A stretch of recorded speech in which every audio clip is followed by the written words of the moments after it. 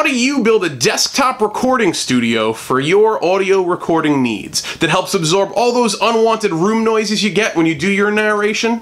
I'm Andrew Burke, and I make stuff, and I'll show you how to do it inexpensively with stuff you probably already have around your house so it'll save you some money and it'll make you sound great. I'll show you how right now.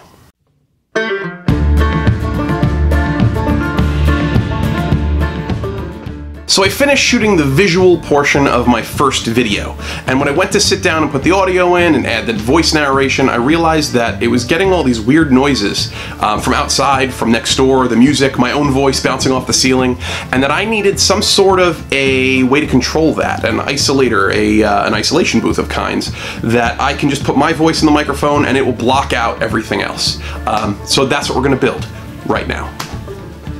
On second thought, I'd like to show it to you on paper first. I think it'll make a lot of sense that way. And while I have your attention, don't forget to hit the subscribe button, smash that thing, and then hit the ding little bell icon so that every time I post something new online, you are the first to know about it.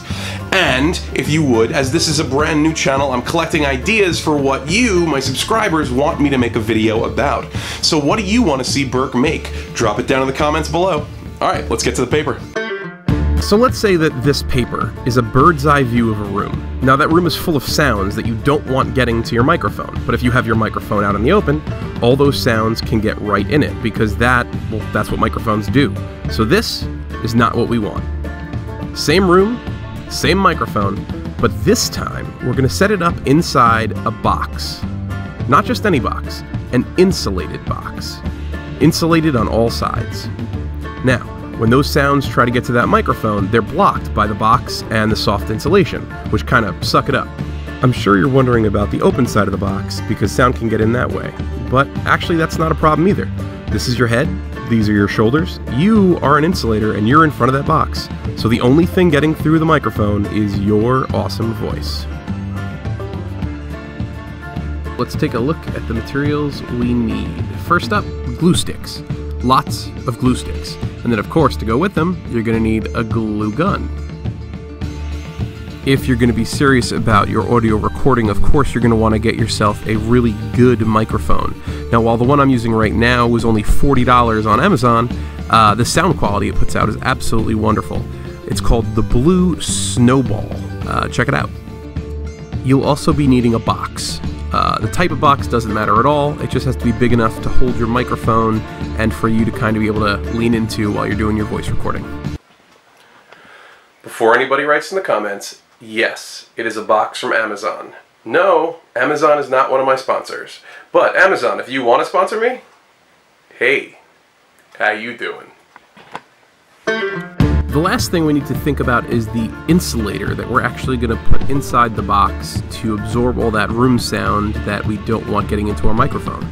Uh, in this case, I'm using the wool insulation from thermally insulated food bags. Oh, okay, maybe I should explain that one. Uh, we get food delivered, smoothie stuff, from a company that sends them in these thermally insulated mylar bags. Um, you don't have these, so you can use a blanket. You can use uh, cotton batting from the store. You can use pillows. You can use anything that's going to be sound absorbent. Um, I'm not going to use this as it is. I'm going to rip the guts out. This. It's squishy. It's wool. It's uh, it's cut. It's uh, very thermally insulated and sound absorbent. It's beautiful. I like it. Let's use it. Let's get that glue gun plugged in and we're ready to go. Oh yeah, glue guns take a while to warm up.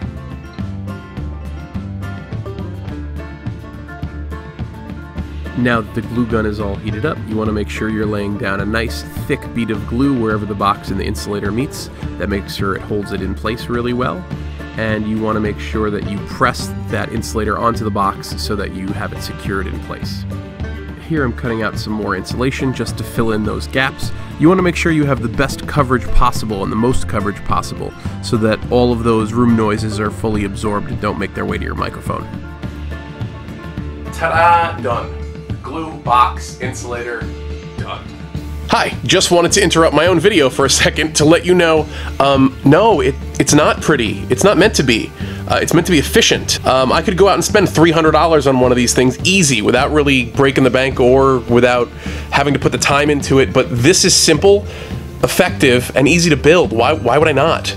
Um, so, do it. That's easy. All right, back to the video. Uh, microphone's in. I'm gonna get to recording voice narration now. If you like this, hit the subscribe button and that little bell. That way it'll let you know every time I put up a new video. I hope you enjoyed it. I'll see you next time. Thank you. This is the part where I pretend to talk into the microphone. Blah blah blah.